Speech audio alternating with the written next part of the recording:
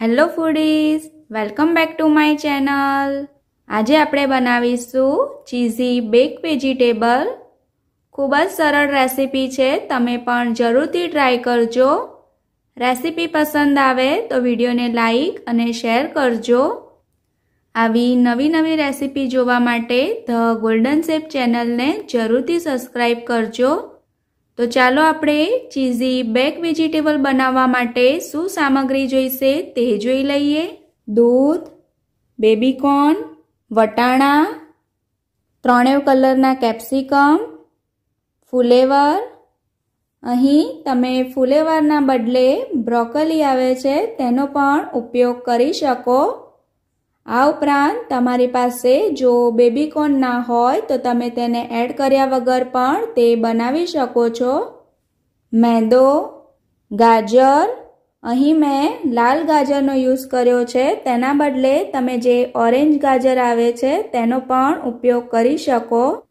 Oregano, chilli flakes, black મરી powder, mix herb cheese butter, મીઠું, તેલ અને પાણી.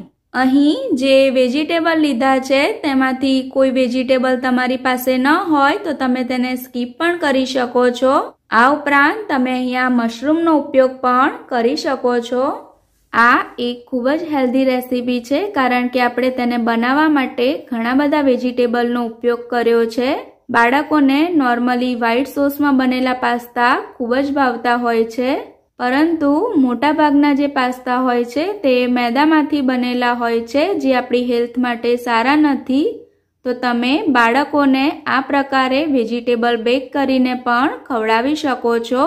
તો ચાલો આપણે ચીઝી બેક વેજીટેબલ કેવી રીતે બનાવાય તે જોઈ લઈએ. અહીં આપણે જે વેજીટેબલ છે તેને પહેલાં બ્લાન્ચ કરી લઈશું. વેજીટેબલને બ્લાન્ચ કરવા માટે એક તપેલીમાં આપણે ત્રણ કપ જેટલું પાણી લીધું છે. પાણીને આપણે ગરમ થવા દઈશું. પાણી ગરમ થાય એટલે આપણે તેમાં વેજીટેબલ એડ કરી દઈશું. અહીં આપણે જે વેજીટેબલ લીધા છે તે દરેકનું પ્રમાણ વન ફોર્થ કપ જેટલું લીધું છે. તમે તમારી પસંદગી મુજબ તેનું પ્રમાણ વધારે ઓછું કરી શકો છો. આમાંથી કોઈ વેજીટેબલ તમને પસંદ ન હોય તો તમે તેને સ્કીપ પણ કરી શકો છો. પાણી ગરમ થાય એટલે આપણે તેમાં વન ટેબલ સ્પૂન જેટલું મીઠું એડ કરીશું. મીઠું એડ કર્યા બાદ તેમાં આપણે વેજીટેબલ એડ કરીશું.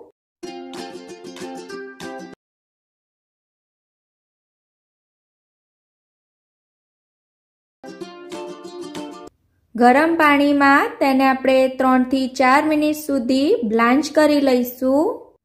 વેજીટેબલ સરસ બ્લાન્ચ થઈ ગયા છે. હવે આપણે ગેસ ઓફ કરી દઈશું.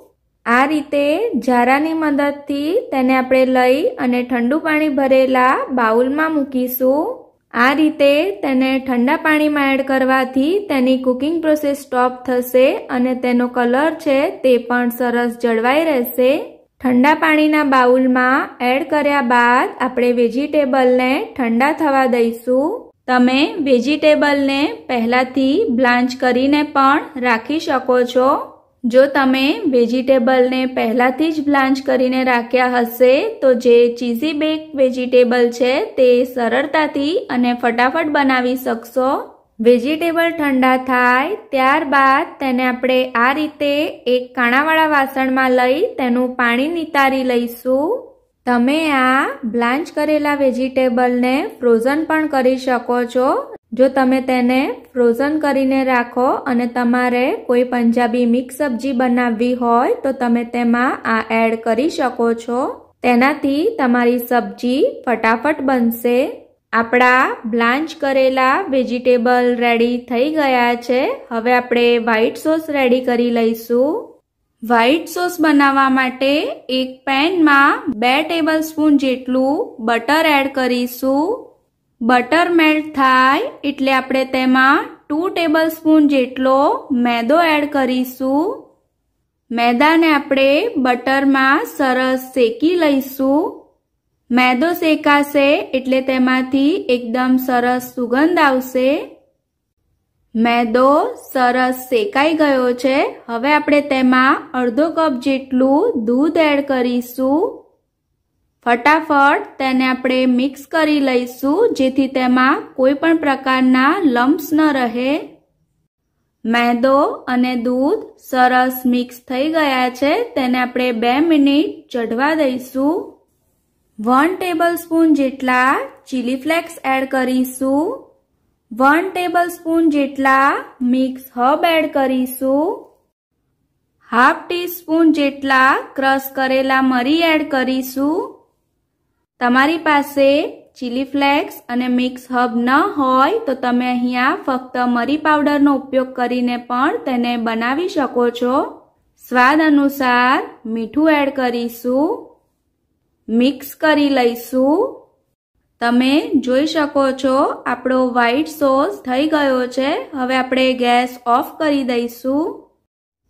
વેજીટેબલ ટોસ કરવા માટે આપણે કઢાઈમાં વન ટેબલ સ્પૂન જેટલું તેલ અને વન ટેબલ સ્પૂન જેટલું બટર લીધું છે. અહીં તમારી પાસે જો ઓલિવ ઓઇલ હોય તો તમારે તેને એડ કરવું. બટરને આપણે મેલ્ટ થવા દઈશું.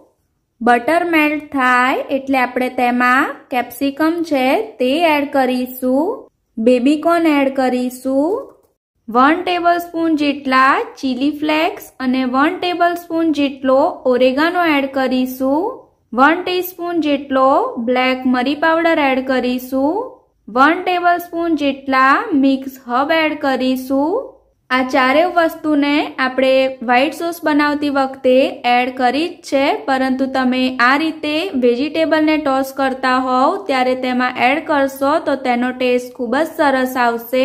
અહીં આપણે જ્યારે બટરને મેલ્ટ કર્યું, ત્યારબાદ જો તમારે તેમાં આદુ અને લસણના ટુકડા એડ કરવા હોય, તો પણ કરી શકો. તેમજ તમારે જો તેને વધારે સ્પાઇસી જોઈતું હોય તો તમે અહીંયા ગ્રીન ચીલીનો ઉપયોગ પણ કરી શકો છો. મિક્સ કરી તેને આપણે ત્રણથી ચાર મિનિટ સુધી ટોસ કરી લઈશું. તેમાં આપણે બ્લાન્ચ કરેલા વેજીટેબલ એડ કરીશું. ગેસની ફ્લેમ હાઈ રાખી તેને આપણે ચાર મિનિટ સુધી ટોસ કરી લઈશું. સ્વાદ અનુસાર મીઠું એડ કરીશું. વેજીટેબલ સરસ ટોસ થઈ ગયા છે. તેમાં આપણે તૈયાર કરેલો વ્હાઈટ સોસ છે તે એડ કરીશું. મિક્સ કર્યા બાદ તેને આપણે બે મિનિટ સુધી કૂક કરી લઈશું. આપણું વ્હાઈટ સોસ અને વેજીટેબલનું મિશ્રણ રેડી થઈ ગયું છે. તેને આપણે આ રીતે એક બેકિંગ ટ્રેમાં લઈ લઈશું.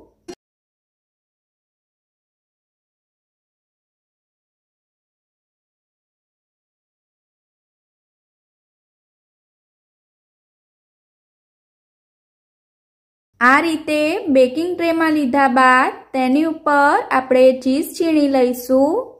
અહીં મેં પીઝા ચીઝ લીધું છે, તેના બદલે તમે પ્રોસેસ ચીઝનો ઉપયોગ પણ કરી શકો છો. આ રીતે ચીઝ પાથર્યા બાદ તેની ઉપર આપણે બ્લેક ઓલિવ્સની રિંગ છે, તે મૂકીશું. તે મૂકવી ઓપ્શનલ છે, તમે તેને ન મૂકો તો પણ ચાલે. તેને આપણે પ્રીહીટ કરેલા માઇક્રોવેવમાં કન્વેક્શન મોડ ઉપર વન એટી ડિગ્રીએ દસ મિનિટ સુધી બેક કરી લઈશું. ત્યારબાદ આપણે તેને પાંચ મિનિટ સુધી ગ્રીલ મોડ ઉપર રાખીશું, જેથી જે ચીઝ છે તે સરસ મેલ્ટ થઈ જાય. અને તેના ઉપર જે રીતે રેસ્ટોરન્ટમાં રેડ ડોટ જોવા મળતા હોય છે તે રીતના આવી જાય. તમે તેને માઇક્રોવેવ કે ઓવન વગર જે રીતે આપણે કેક બેક કરતા હોઈએ છીએ, તે રીતે કઢાઈમાં પણ બેક કરી શકો છો. જો તમે કઢાઈ કે તપેલામાં બેક કરતા હોવ, તો તમારે પંદરથી વીસ મિનિટ સુધી બેક કરવું. તો તૈયાર છે આપણા એકદમ ચીઝી એવા બેક વેજીટેબલ ખૂબ જ ઇઝી રેસીપી છે, તમે પણ જરૂરથી ટ્રાય કરજો. રેસીપી કેવી લાગી તે કોમેન્ટ બોક્સમાં જણાવજો. તમને જો આ રેસીપી પસંદ આવી હોય તો વિડીયોને લાઈક અને શેર કરજો. આવી નવી નવી રેસીપી જોવા માટે ધ ગોલ્ડન શેપ ચેનલને જરૂરથી સબસ્ક્રાઇબ કરજો. તથા સબસ્ક્રાઇબ બટનની સાથે રહેલા બેલ આઇકોનને પણ જરૂરથી પ્રેસ કરજો. જેથી નવો વીડિયો આવે તો તેનું નોટિફિકેશન સૌપ્રથમ તમને મળે.